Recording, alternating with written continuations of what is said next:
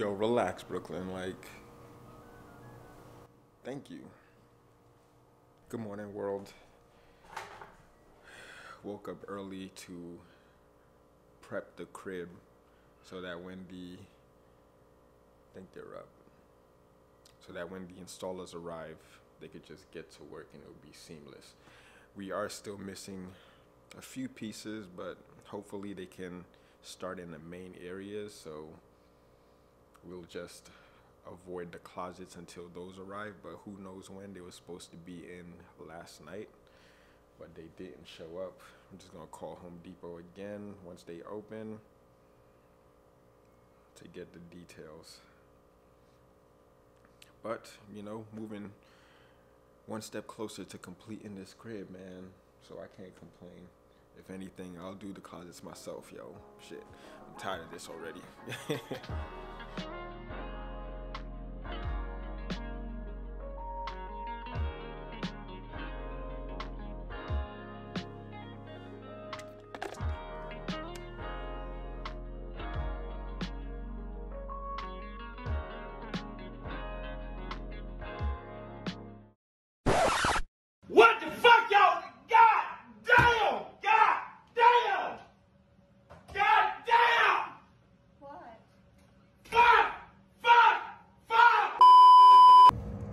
So we just hit a snag and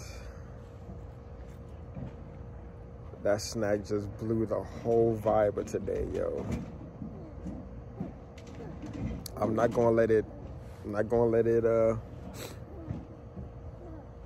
man, it's okay to be tight. Alright? I'm a I'm tight, man.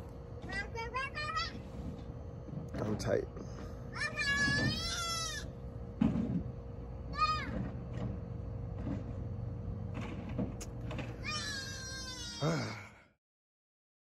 Well,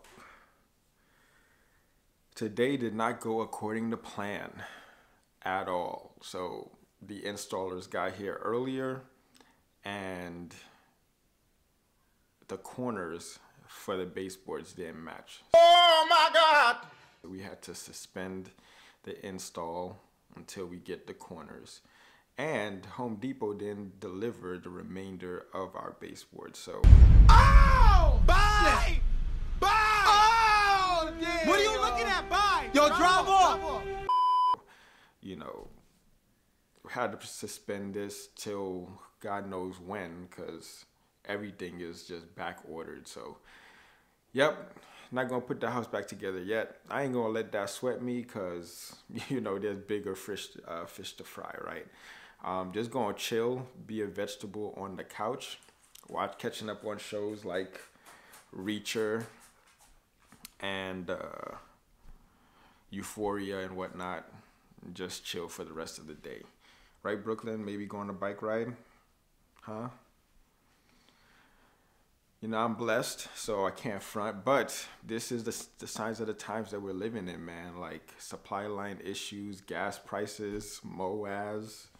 Um, yo, I've been getting calls and emails from people trying to buy my cars. Dealership is trying to buy my car at or around the price the price that I paid for it, which is crazy because you know used cars are depreciating assets.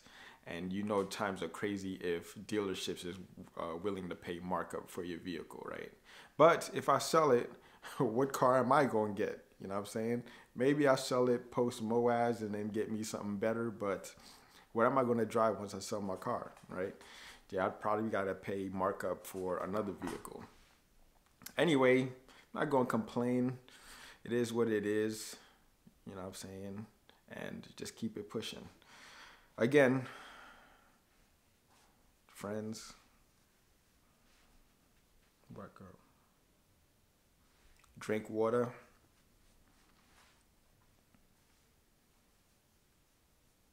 Get money and mind your business.